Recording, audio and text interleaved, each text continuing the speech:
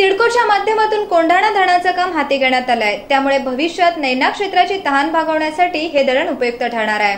तसेच पनवेलसाठीही यातून अतिरिक्त पाणी पुरवठा होऊ शकेल अशी ग्वाही नगरविकास राज्यमंत्री डॉक्टर रणजित पाटील यांनी दिली आहे. नैना क्षेत्रातील ग्रामपंचायतींना सुरळीत पाणी पुरवठा व्हावा याकरिता आमदार प्रशांत ठाकूर यांनी सिडको एमआयडीसी नवी मुंबई महापालिका आणि एमजेपी कडे यासाठी सातत्याने पाठपुरावा केला होता. पनवेल महानगरपालिका हद्दीच्या जवळ असलेल्या विजुंबे देवत पालीदेवत आकुर्ली व आदई या ग्रामपंचायतीमधील गावांचे झपाट्याने नागरीकरण होत आहे. त्यामुळे लोकसंख्याही वाढत आहे. मात्र त्या तुलनेत अत्यंत अपुरा पाणी पुरवठा होत आहे. जानेवारी पासून पाणी पुरवठ्यात आणखी कपात करण्यात आली आहे. या ग्रामपंचायतीकडे पाणी पुरवठ्याचा दुसरा स्रोत उपलब्ध नाही. त्यामुळे नवी मुंबई महापालिकेकडून मिळणाऱ्या पाण्यावर या गावांना विसंबून राहावे लागते. या पार्श्वभूमीवर या गावांच्या पाणी पुरवठ्याचा प्रश्न तातडीने निकाली काढावा अशी मागणी आमदार प्रशांत ठाकूर यांनी यावेळी झालेल्या बैठकीत केली आहे.